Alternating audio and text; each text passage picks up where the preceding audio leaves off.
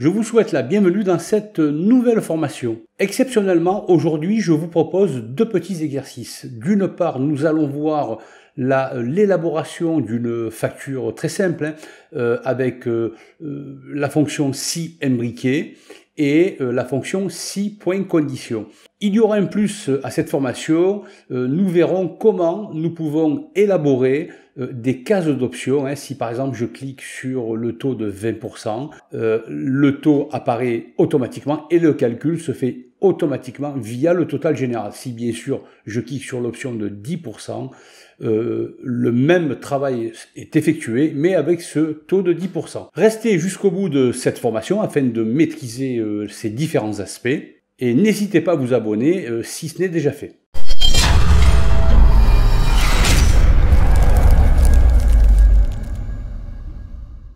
Commençons donc cet exercice en lisant l'énoncé qui se trouve dans la quadrille vert.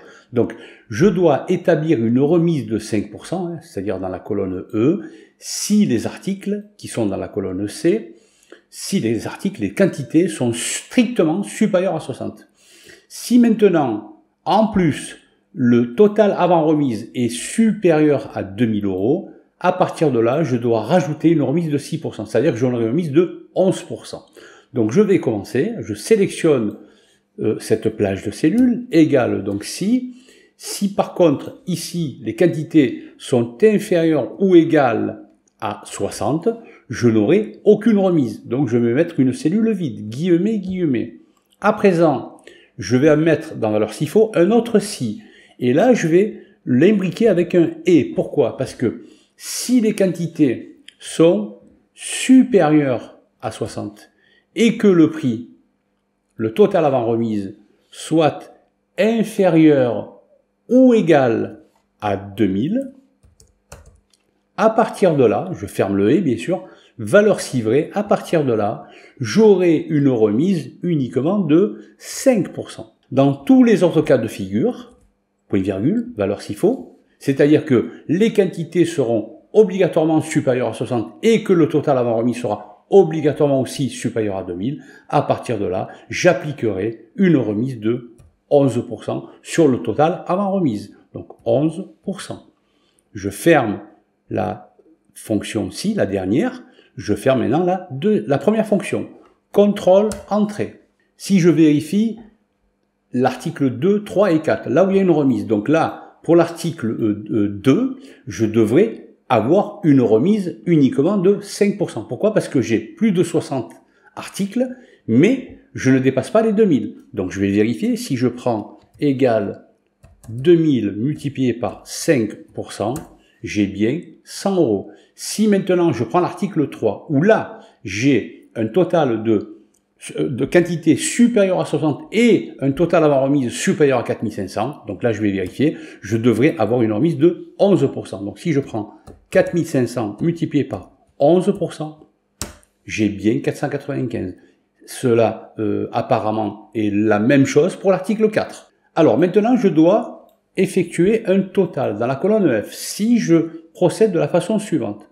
Donc je prends toutes ces cellules, égale le total avant remise, déduction faite du, de la remise, s'il y en a une bien sûr, contrôle entrée, j'ai valeur faux. Pourquoi? Parce que j'ai mis ici dans la formule une cellule vide. Une cellule vide est considérée comme du texte.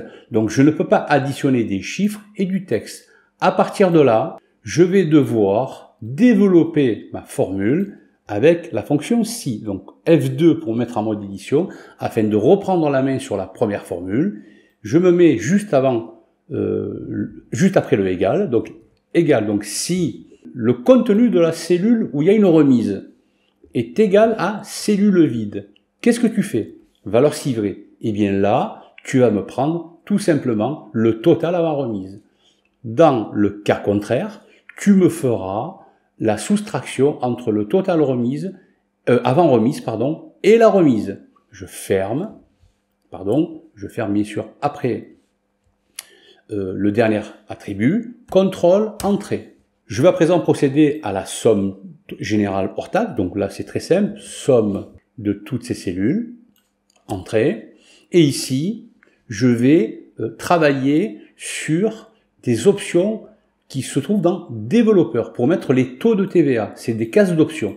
Donc pour cela, je vais aller, alors si vous n'avez pas bien sûr l'onglet développeur, allez dans fichier, options, personnaliser le ruban, et ici vous aurez développeur, cocher développeur. À partir de là, vous aurez l'onglet développeur. Donc je vais cliquer sur l'onglet développeur, ici insérer, et je vais insérer ici une zone de groupe. Donc je vais la dessiner, pourquoi pas ici. Et dans cette zone de groupe, je vais ajouter des cases d'options. Donc je clique sur case d'options, je dessine cette case d'options et je vais, avec ma touche CTRL, je laisse mon doigt enfoncé, copier-coller cette case d'options. Alors je vais bien sûr lui donner un nom ici, euh, je vais l'appeler taux de TVA. La case, celle-ci, je vais l'appeler, pourquoi pas, 20%. 20%. Alors, je ne sais pas si j'ai tout enlevé. Il me semble que oui. Oui, c'est le cas. Et là, je clique au droit pour avoir la main. Je clique dans la case pour enlever case. Et je vais mettre, bien sûr, 10%. 10%. Alors, à présent, je vais prendre n'importe quelle case d'option. Par exemple, celle-ci, en cliquant droit. Je vais aller dans Format de contrôle. Et ici, dans l'onglet contrôle, on me demande cellule liée. On prend n'importe quelle cellule, par exemple la cellule H2. Je clique sur OK. Et si je coche 20%, j'ai un chiffre qui apparaît. 1. Si je clique sur 10%, j'ai un autre chiffre qui apparaît. C'est ce qui va me permettre de développer une petite formule qui va calculer automatiquement la TVA. Alors ici, par exemple, pour le taux de TVA, je vais mettre égal si cette donnée c'est-à-dire 2 à 10% est égal à la valeur 2, alors tu me mettras 10%. Dans le cas contraire, ça ne peut être que 20%. Je fais entrer. Donc là, si je coche par exemple la case d'option 20%, j'ai bien 20%. À présent, je vais pouvoir faire facilement le calcul. Égal le total général hors bien sûr, multiplié par le contenu de cette cellule. Si bien sûr je coche 10%, un calcul différent apparaît.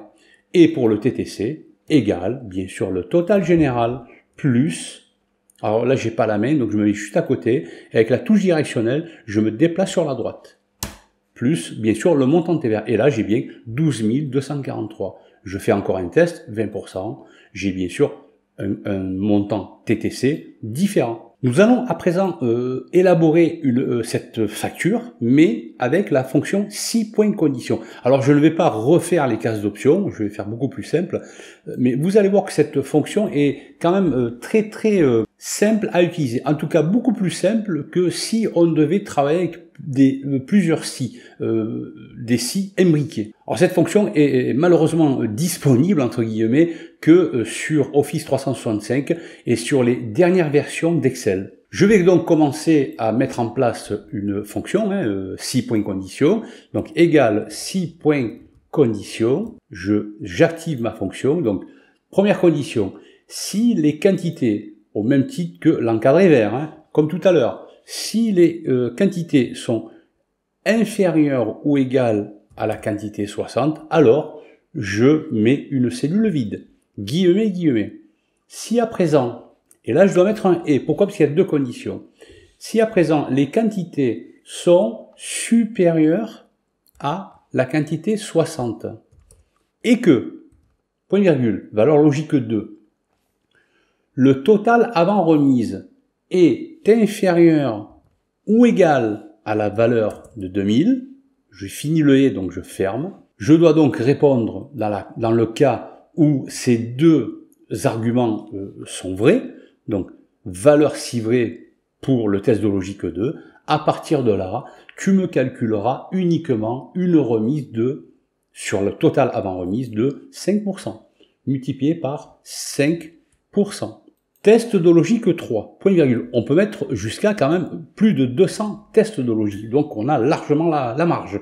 Donc, et là j'ai deux, conditions aussi. Donc valeur logique si les quantités sont supérieures à la valeur 60 et que le total avant remise est strictement supérieur à 2000, donc j'ai fini avec le et, donc je le ferme, Et là, je dois répondre valeur si vrai, test de logique 3. À partir de là, tu me prends le total avant remise, et là, tu le multiplies par 11%.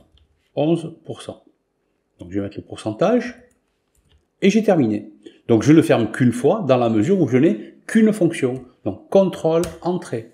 Donc là, le total, je vais sélectionner cette page de cellule, ça va être égal au total avant remise, déduction faite du montant de la remise s'il y en a une. Contrôle entrée, et là je constate qu'il y a un message d'erreur. Alors pourquoi? Parce que j'ai mis dans ma formule, dans le cas où les quantités sont inférieures ou égales à 60, tu me mets une valeur vide. Et c'est du texte. Pour pallier le problème, cette fois-ci, je ne vais pas utiliser la fonction euh, si, mais une autre fonction qui s'appelle si erreur. Donc je sélectionne ces données, je me mets en mode édition F2 pour revenir dans ma fonction, et ici, je vais mettre si erreur.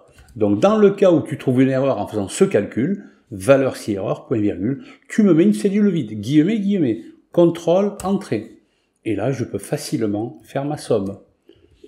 Donc somme de toutes ces données, entrée. La TVA, il n'y a pas de problème, donc total général multiplié par le taux.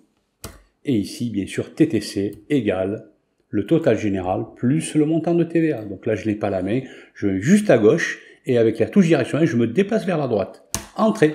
Si bien sûr vous souhaitez vous perfectionner sur Excel, il n'y a qu'une façon de, de faire, c'est de s'entraîner, s'entraîner et s'entraîner. Quant à moi, je vous donne rendez-vous dans un prochain tutoriel. N'hésitez pas à vous abonner et à cliquer sur la petite cloche afin de recevoir les notifications sur les prochaines vidéos que je mettrai en place. Et à cliquer sur le petit pouce, ça fait toujours plaisir. Merci, à bientôt